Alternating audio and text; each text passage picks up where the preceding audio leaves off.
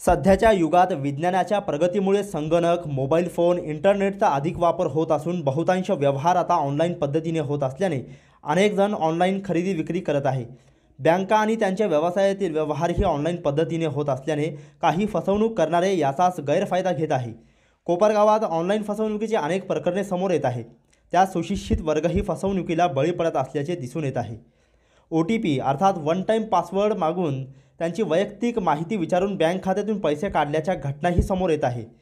कोणाला A T M card बंद असल्याचे सांगून तर कोणाला सिम कार्ड बंद होणार असल्याने कागदपत्राची माहिती मागवली जाते.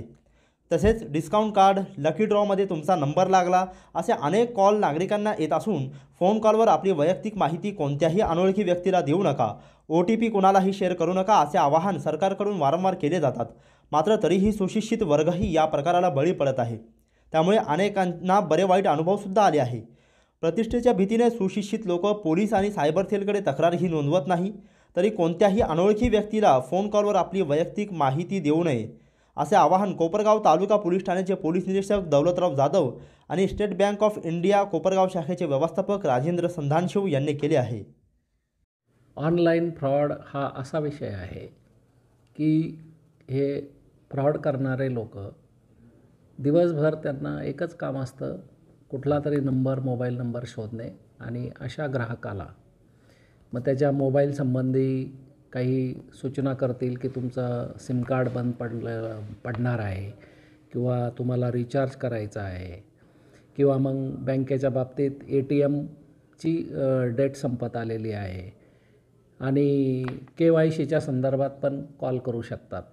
अशा विविध प्रकारे कॉल करून किंवा मग एखाद्या व्यक्तीला काही बक्षीस मिळालेलं आहे मोबाईलवर बक्षीस मिळालेलं आहे अशा वेगवेगळ्या प्रकारचे फोन करून हे लोक आमिष दाखवतात. काही बक्षीस मिळणार असलं पैसे मिळणार असले की समोरची व्यक्ती गोंधळात पडते आणि त्यावेळेस त्याला कशाचंही भान राहत नाही. खरं तर आज प्रत्येक बँक इवन टी व्हीवर सुद्धा आपले अमिताभ बच्चन त्याची जाहिरात करतात की बँक कुठलीही माहिती कुठल्याही ग्राहकाला मागत नाही. असं असताना ग्राहक विनाकारण त्यांचे ओ टी पी वगैरे माहिती समोरच्या व्यक्तीला ऑनलाईन फोनवर देतात आणि मग त्यांचं अकाउंट रिकामं होतं. तर मी हेच आव्हान करेल जनतेला की वारंवार सूचना देऊनही आपण सावध राहिलं पाहिजे. जेव्हा आपल्याला कुठलाही अननोन व्यक्तीकडून कॉल येतो तेव्हा अशा कॉलला एकतर आपण रिस्पॉन्ड केलं नाही पाहिजे आणि रिस्पॉन्ड केलं तरी त्यांना कुठलीही माहिती देऊ नये. आपल्या परिचित लोकांनीच जर आपल्याला फोन केला किंवा बँकेतून शक्यतो फोन फक्त चेकसाठी येतात की तुमचा चेक क्लिअर करायचा आहे किंवा नाही. एवढ्याचसाठी फक्त फोन येतात अदरवाईज बँकवाले कशाचीही माहिती फोनद्वारे घेत नाहीत.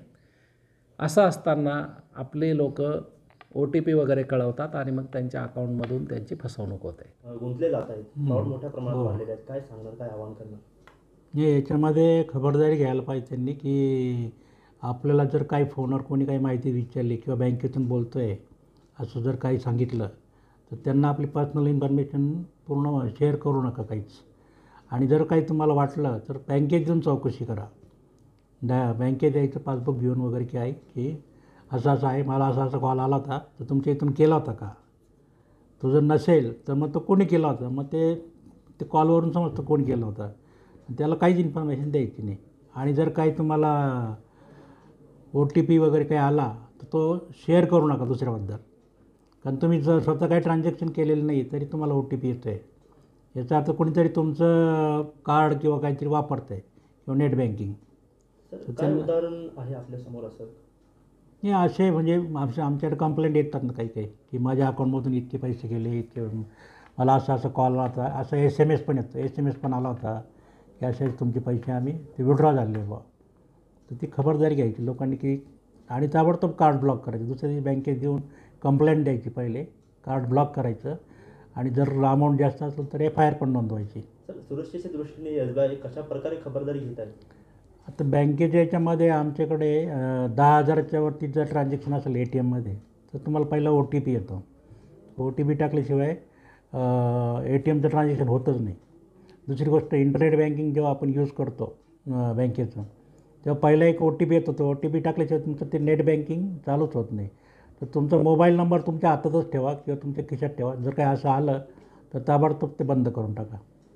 त्याच्यामध्ये येतं की तुमचं नेट बँकिंग कोणते वापरतं आहे तर ते खबरदारी घ्यायची आणि नेट बँकिंग ताबडतोब स्टॉप करून घ्यायचं.